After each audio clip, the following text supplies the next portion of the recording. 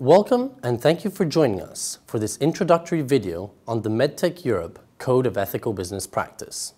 The structure of this presentation is as follows. First, there will be an explanation of the reasons why MedTech Europe adopted its code. Second, an introduction to the implementation timeline. Thirdly, a summary of the main requirements of the code. And finally, the outline of the different resources available assisting in the implementation of the code. It is important to remember that this presentation does not substitute the reading of the code itself and aims at outlining its main objectives. The MedTech Europe Code. How and why did we get here? In 2016, EDMA and EUCOMED merged into MedTech Europe. Previously, each association had its own code of ethics, and both had been approved long time ago. Society has evolved a lot in the last decade, and industry standards must reflect these changes. Having a single code offers clarity and simplicity to the medical technology industry in their relations with healthcare professionals and organizations. The medtech industry and healthcare professionals, HCPs, collaborate closely throughout several stages of the development and use of medical technologies. HCPs actively participate in the research to develop new technologies. This close collaboration is key to develop innovative technologies for the treatment of patients. HCPs are trained on how to use the technologies. The industry liaises regularly with HCPs to ensure that the technologies are updated and maintained. Industry's behavior must respect high ethical standards and values. This is to reduce compliance risk, safeguard integrity and industry reputation and uphold value and promote an image of a responsible industry, to promote harmonization of ethical standards worldwide, to show that the medical technology industry is serious about self-regulation and goes beyond the requirements of the law, and to respond to the public and judicial scrutiny over the relation between industry and healthcare professionals and go beyond mere transparency of potentially improper practices. MedTech's support to medical education is essential to healthcare professionals and ultimately to patients. However, the manner in which it is conducted needs to change. This is one of the reasons why MedTech Europe adopted the Code of Ethical Business Practice. This map shows the current status of the discussions around direct sponsorship worldwide. The implementation timeline. Traditionally, there have been two types of industry support to third-party organized events. Direct sponsorship, which is where companies select individual healthcare professionals and financially support their participation to third-party organized events. Such financial support typically covers some or all of the travel, lodging, and registration costs of the healthcare professional. On the other hand, we have educational grants. Companies provide educational grants to hospitals, medical societies, and other third parties to support genuine medical education. These include educational grants provided to support healthcare professional participation to third-party organized events. Healthcare professionals are selected by the receiver of the grant. The timeline to change from one model to the other is the following. The code entered into force in January 2017. Educational grants need to comply with it and its reinforced rules. In January 2018, direct sponsorship is no longer allowed. Educational grants become the only way to support medical education. The different obligations for member companies enter into force as follows. The code entered into force in January 2017, including all chapters and new rules except for the prohibition of direct sponsorship.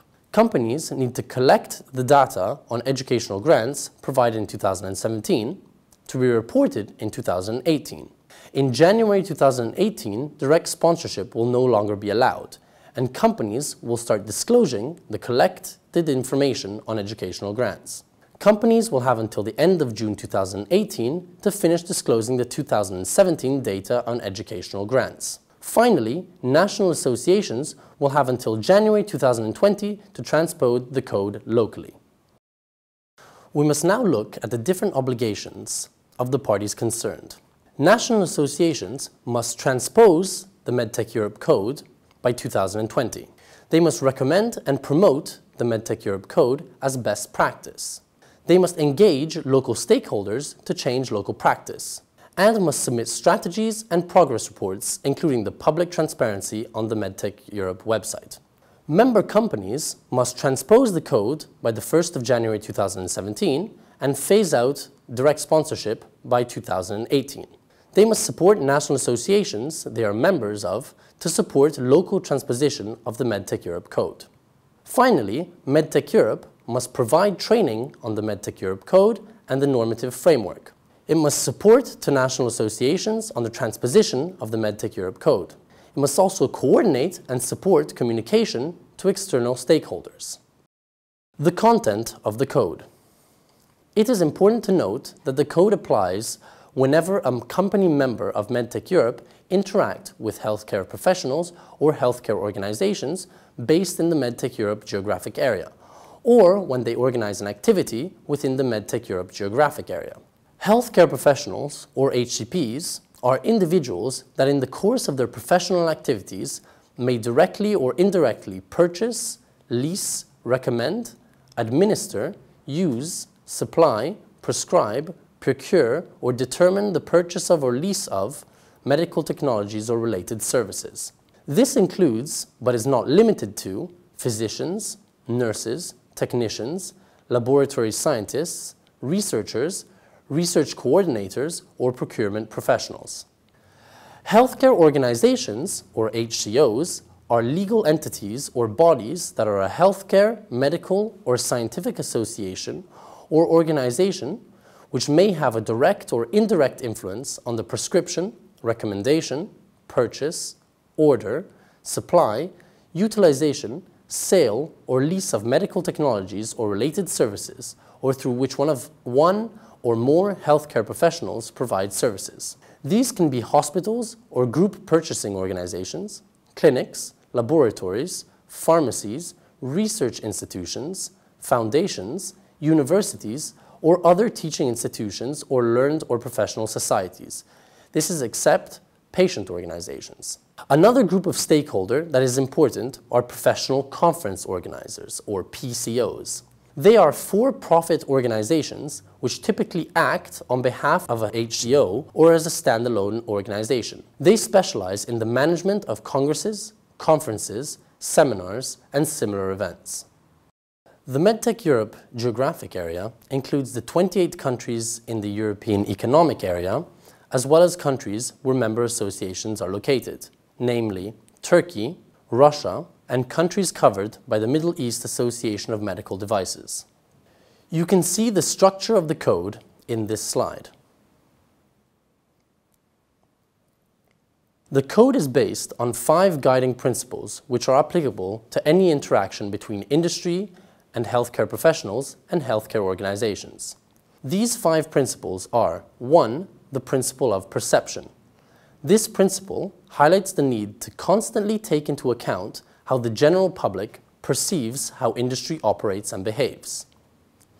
2. The principle of transparency. This concerns the obligations of informing the healthcare professionals institution of any interaction between industry and individual healthcare professionals. Three, the principle of equivalence. This means any fee needs to follow a strict fair market value methodology. Four, the principle of separation, which ensures that business decisions are not primarily sales driven. Finally, the principle of documentation, which requires traceability of contracts, agreements, and other related documents.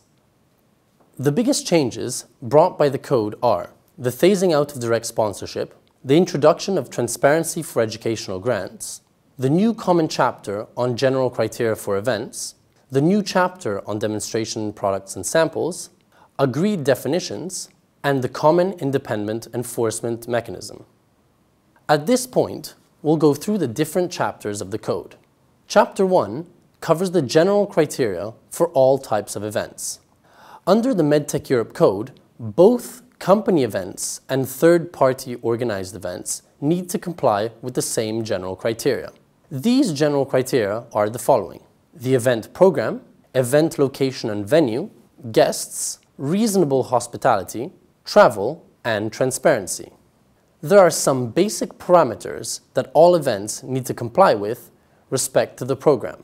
The detailed program should be made available in the format of a timetable with no gaps during the sessions. We expect a full day to be of minimum six hours of sessions and a half day of three hours. No half days can be featured in the middle of the event week, only as first and last days. Looking at the event program, it is important to note the following. The program must be directly related to the specialty and or medical practice of the healthcare professionals who will attend the event. It must be sufficiently relevant to justify the attendance of the HCP. It must also be under the sole control and responsibility of the organizer. Finally, it is not appropriate to organize events which include entertainment. On this last point, what is meant by the no entertainment criteria? Under the code, entertainment includes, but is not limited to, the following aspects. Dancing or arrangements where live music is the main attraction, sightseeing trips, theatre excursions, and sporting events. Incidental or background music, along with reasonable hospitality, are not considered entertainment. There are certain criteria which are essential when selecting an appropriate event location and venue. Perception is key. The location and venue must not be perceived as luxury, tourist, holiday, or entertainment oriented. The location must be centrally located with regards to the place of residence of the majority of invited participants. The location must be easily accessible. This means in close proximity to an airport, train station, or other transportation infrastructure. The location must also be a recognized scientific or business center. Finally, the selected time of year is also essential. It must be outside a tourist season for the selected geographic location. Another element which must be taken into consideration when organizing an event are guests. According to the code, Guests are spouses, partners, family, or other people accompanying a healthcare professional. Member companies are not permitted to facilitate or pay for meals, travel, accommodation, or other expenses for guests of healthcare professionals. Furthermore, guests should not participate in the event program unless they would have a genuine professional interest in the event itself. What is required when it comes to hospitality? Hospitality is accommodation and meals. It must be subordinate to the event in time, meaning that accommodation should be limited to the duration of the event.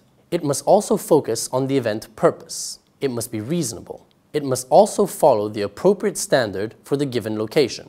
And it must comply with the national laws, regulations, and professional codes of conduct. Any reimbursed or paid travel should, be reasonable, this means that it should normally be economy or standard class. Business class can be considered for flights longer than 5 hours. The travel must also be actual, meaning it cannot cover a period of stay beyond the official duration of the event.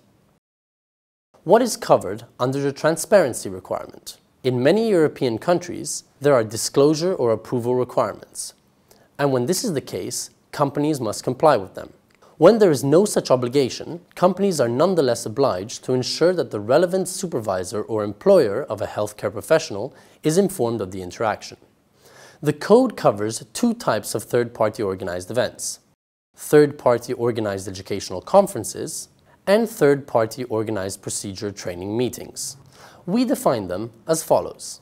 Third-party organized educational conferences are genuine, independent, educational, scientific or policy-making conferences organized to promote scientific knowledge, medical advancement, and or the delivery of effective healthcare. They need to be consistent with relevant guidelines established by professional societies or organizations for such educational meetings.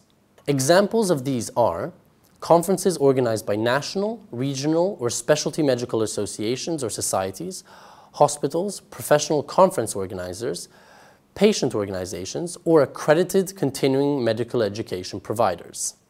On the other hand, we have third-party organized procedure trainings. These are primarily intended to provide healthcare professionals with information and training on the safe and effective performance of one or more clinical procedures in circumstances which concern specific therapeutic, diagnostic, or rehabilitative procedures, namely clinical courses of action, methods, or techniques, rather than the use of medical technologies, and practical demonstrations and or training for healthcare professionals, where the majority of the training program is delivered in a clinical environment. The requirements for both types of third-party organized educational events are almost the same, as can be appreciated in this slide. The only difference is that due to the very particular setup of third-party organized procedure training meetings, companies may still directly support attendance to these events. The conference vetting system reviews the compliance of third-party educational events with the MedTech Europe Code of Ethical Business Practice to determine the appropriateness for member companies financially supporting the event via individual sponsorship of European healthcare professionals to participate in such events, educational grants to the event organizers and, starting in 2018, for commercial activities during the event. CVS was established to simplify and centralize the decision-making process based on general criteria for events. It also has the advantage of providing a single assessment for all companies, eliminating duplicities and inconsistencies. CVS looks at events where there are participants from more than one country within the MedTech Europe geographic area. Events can be submitted by both members and the conference organizers. The conference vetting system looks at the following criteria. The scientific program, geographic location and venue, accommodation, hospitality, guest packages, and communication support. Chapter 3 looks at company-organized events. The code covers two general types of company-organized events. Company-organized products and procedural training and education events, and sales, promotional, and other business meetings. Product and procedural training and education events are primarily intended to provide healthcare professionals with genuine education, including information and or training on safe and effective use of medical technologies, therapies and or related services, and or safe and effective performance of clinical procedures, and or related disease areas. In all cases, the information and or training directly concern a member company's medical technologies, therapies, and or related services. Sales, promotional, and other business meetings have the objective to effect the sale and or promotion of a member company's medical technologies and or related services, including meetings to discuss product features, benefits, and use and or commercial terms of supply. In this table, you can appreciate the differences between both types of events. The main difference is that companies can directly support the attendance of healthcare professionals to product and procedure trainings and education events, whereas they can't do so for any kind of promotional meeting unless it is for the demonstration of non-portable equipment. Chapter 4 looks at the different types of grants and also at charitable donations. The code requires certain conditions for educational grants to be provided. These are the following. Grants will be publicly disclosed by companies in a central European platform, ensuring increased transparency of the funds allocated to medical education. Conferences benefiting from an educational grant still need to comply with specific requirements that we have seen in the previous sections. For instance, the general criteria for events and the conference vetting system. Grants can be only be provided to legal entities but never to individuals and will require written contract and other related documentation. Companies can define the type of recipients which should be eligible to benefit from the grant but cannot select individual recipients. Finally, companies must have an internal and independent process based on objective criteria to assess grant requests. As can be seen in this slide, neither educational grants nor charitable donations or research grants can be directly provided to healthcare professionals. On the other hand, charitable donations can only be provided to healthcare organizations under demonstrated financial hardship, but their main recipients are charitable organizations. Another difference is that both research and educational grants can only be provided on a restricted basis, meaning that companies need to indicate what can the grant be used for. On the other hand, charitable donations can only be restricted to the extent necessary to ensure that they are used for philanthropic or charitable purposes. Finally, only educational grants will be publicly disclosed. Educational grants will be published in a centralized European platform, Transparent Medtech. For this purpose, educational grants will be divided in two general categories. Educational grants to support events and all other educational grants. The first reporting period will be 2017, and this data will be published in 2018. Chapter 5 looks at arrangements with consultants. Member companies may engage healthcare professionals to provide bona fide consulting and other services. For example, research participation on advisory boards, presentations at company events, and product development. Member companies may pay healthcare professionals reasonable remuneration for performing these services. The code is applicable also to these cases where a consultant healthcare professional declines a fee for provision of their services. Research is covered in Chapter 6.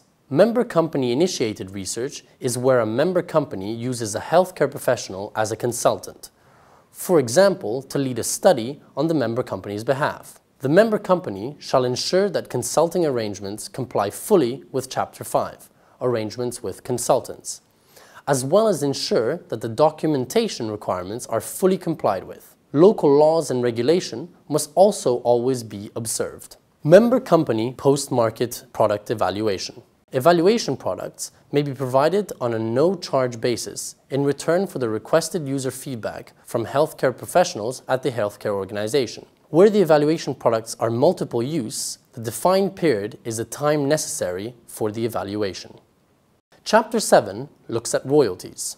A member company and a healthcare professional may enter into a royalty agreement where the healthcare professional is expected to make or has made a novel, significant, or innovative contribution to, for example, the development of a product, technology, process, or method such that the HCP would be considered to be the sole or joint owner of such intellectual property under applicable laws and regulations.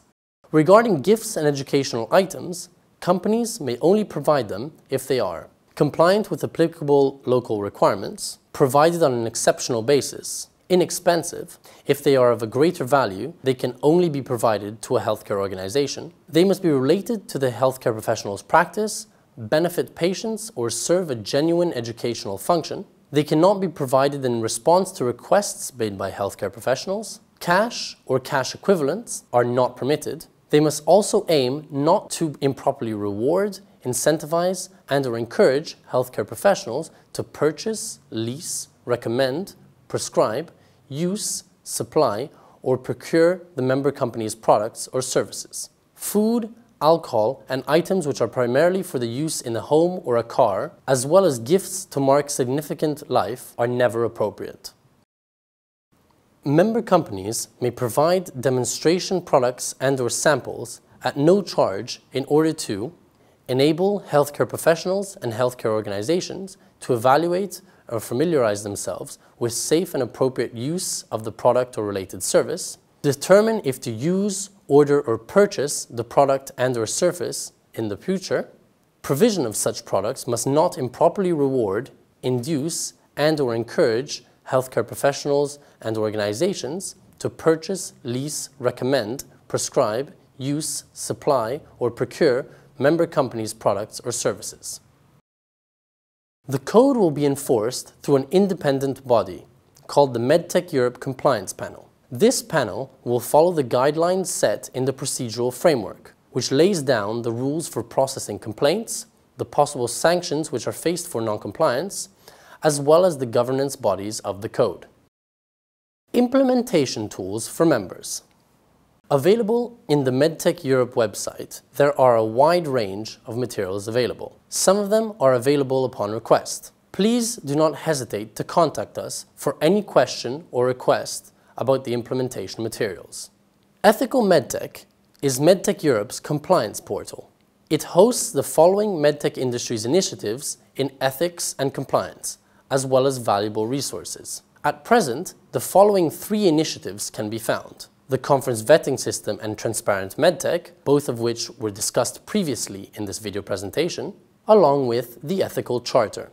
The Ethical Charter is a voluntary certification initiative that ensures commitment of third-party educational event organizers to the application of MedTech Europe Code provisions. The Ethical Charter provides a trusted partner logo valid for a duration of maximum two years, which is then renewable.